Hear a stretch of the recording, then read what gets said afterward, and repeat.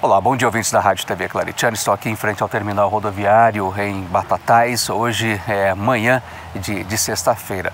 Uma notícia que vai pesar no bolso de quem utiliza os serviços.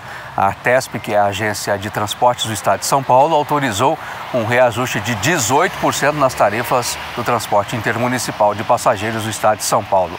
A empresa São Bento, inclusive, já está anunciando os novos valores que passam a vigorar a partir de 1 de julho. Eu vou citar aqui alguns exemplos. A tarifa, por exemplo, Ribeirão Preto Batatais passará de R$ 10,00 para R$ 12,05, Batatais Altinópolis de R$ 6,30 para R$ 7,40 e Brodowski Batatais de R$ 5,65 para R$ 6,90. Os moradores que precisam se deslocar, é, trabalhar em outras cidades já estão apreensivos com o novo aumento no valor das tarifas. Eu vou deixar aqui uma tabela com os novos valores a partir do dia 1 de julho é utilidade pública, informações que fazem a diferença no seu dia a dia, rádio e TV Claretiana.